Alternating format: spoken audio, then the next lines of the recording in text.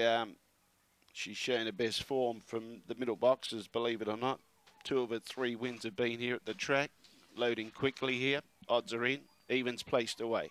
Green light on. No more bets, thank you. Favoured out wide. Future past. Set. Away and racing.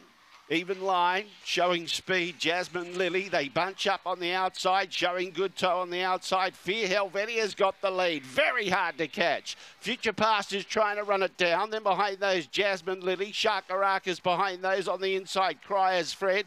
Following those through, Fred of Lidsdale and at the tail, lots of yap. In front, Fear Helvetia, very hard to catch. Future Past is trying hard. Fear Helvetia's got a good kick though. Future Past and on the inside, Jasmine Lily, but uh, too good, Fear Helvetia. Beats Future Past. Third, Jasmine Lily not too far away. Then Cries Fred, who made late ground. Then lots of yap. Shark Arrakis and Fred of Lidsdale at the tail end of the field.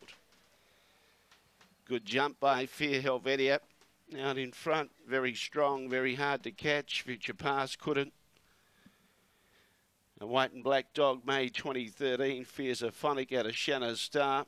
Robert Womwell, the uh, owner and trainer and your return for a ticket each way $13.50 and $6 future past $1.40 for the place.